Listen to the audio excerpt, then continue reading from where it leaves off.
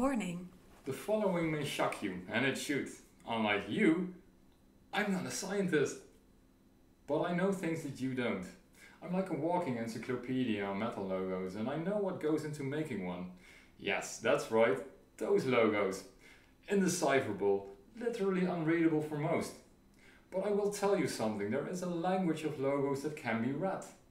Indeed, just by looking at them, metalheads can often tell just what sort of band they belong to, what sort of music they play, and sometimes even when and where they're from. From its inception in the late 1960s, heavy metal was underground music for those who did not fit in. But 10, 15 years later, it entered mainstream culture, thus losing much of its bite. This prompted some to go extreme with their music to reappropriate metal's insular identity. Their music might have shocked the first listeners, only to find before long it no longer shocked anyone. This, in turn, prompted others to go even more extreme. This has repeated every few years. The result is that the metal community has splintered in numerous divergent directions, with other new genres and bands going over the top and trying to outdo what came before. Some play super fast and aggressive, some play ultra slow, some focus on all things gory and occult things, and so on. Today there are over 50 distinct subgenres and microgenres, many with their own aesthetics and approach to logo design. Instantly recognizable to fans. All this has been known for years. But despite this, why do many still think that textual information needs to be clear and readable in the traditional sense for it to communicate effectively? In visualization, this is such a pervasive notion that metal logos' illegible semantics have up until now not been sufficiently observed. Understanding how these logos convey information and appeal to the fan audience may even force us to abandon our ideas on what is proper typographic style. But how can we systematically, incredibly show that there is a language actually existing in metal logos and that it's not just all about making them purposely unreadable? You could ask a designer about what goes into the making of such a logo, but then you'll only hear some pseudo babble about compositional lines and working some given themes into those areas. This though informative, won't really help you, as one designer's views won't cover all aspects. You could take a more theoretical approach, reading up on all sorts of design principles, only to find out that in real life things are a little bit different, especially when it comes to metal. After all, metal is about going against the grain.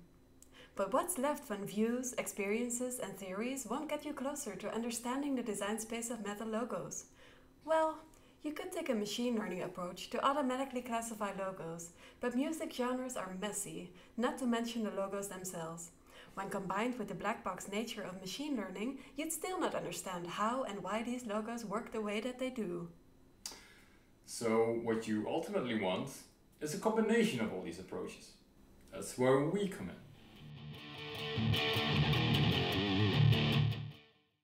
First, I sketched out the things I know letters and letter forms illustrating key characteristics, and then I went on to design a few dozen sample logos.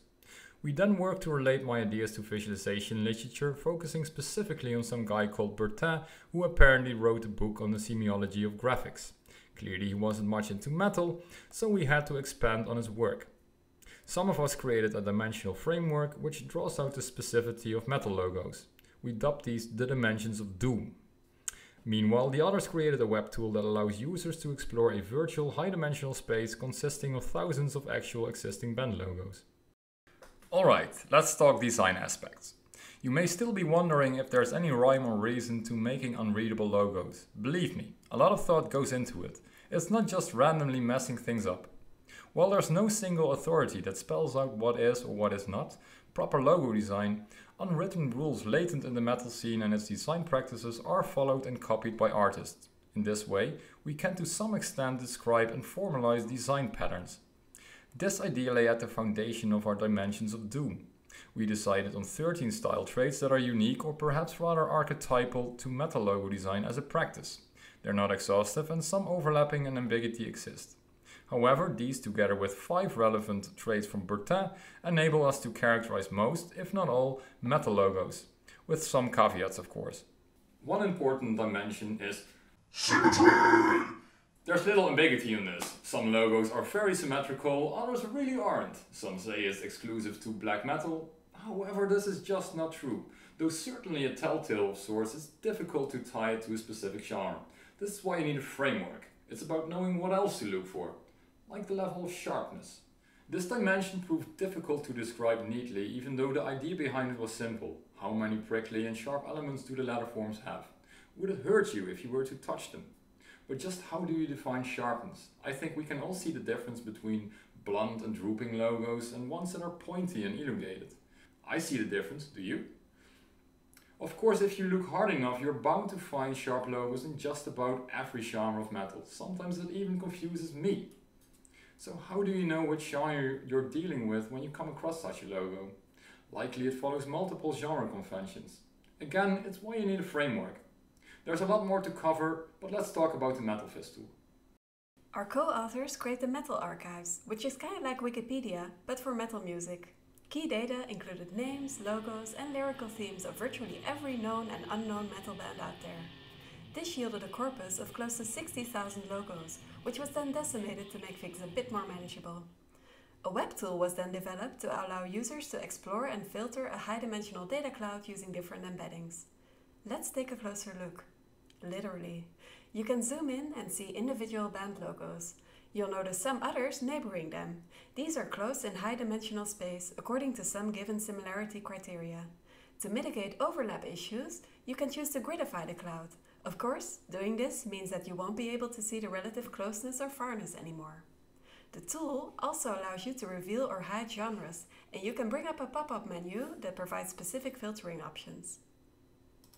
Some, hmm, surprises aside, the tool reveals interesting findings in the relation between logos and genre, like prevalence of color.